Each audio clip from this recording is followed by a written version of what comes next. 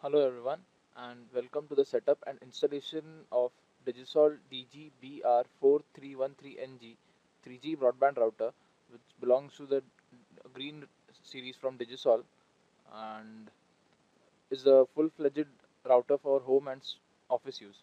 So let's get started with its installation. So as you can see that this window is on the screen.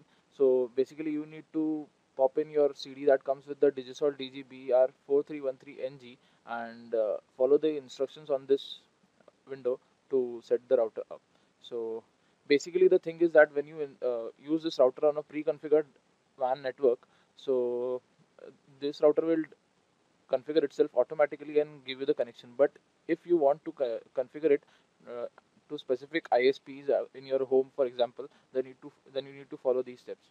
So let's get started with it click next. So first you need to connect the WAN port from the modem or the network to the router and click next. So next you need to connect one end of the provided network cable with the router to the LAN ports of the computer and click next.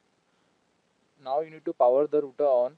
So to do that plug the included power adapter to the wall socket and power on the router by sliding the power on button at the back of the router. And now you need to enter the credentials for logging in into the router. To do that you need to enter the default password which is 1234 but you can change this password after you have finished the installation. Press login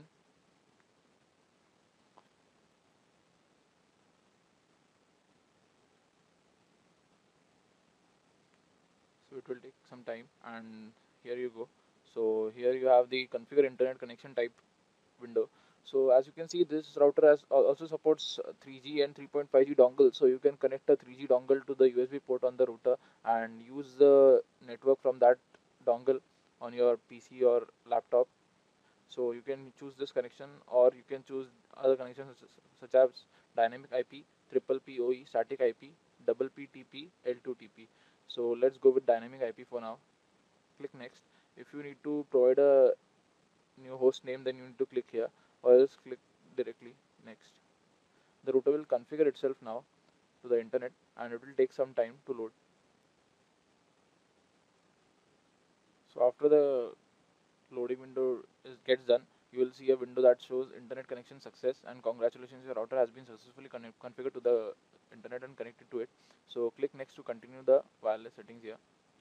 And here you need to configure the wireless settings for your router and use this window to name your router. So let's name it default as Digisol. Click next. Here you need to provide a wireless key or security key for that. So let's provide it right now for example admin click next. Oh it needs 8 characters at least so let's enter something bigger. For example password. Click next. Here you can see the configuration complete window. Here you'll see the DHCP client type the wireless name or SSID the wireless security measure and the security key.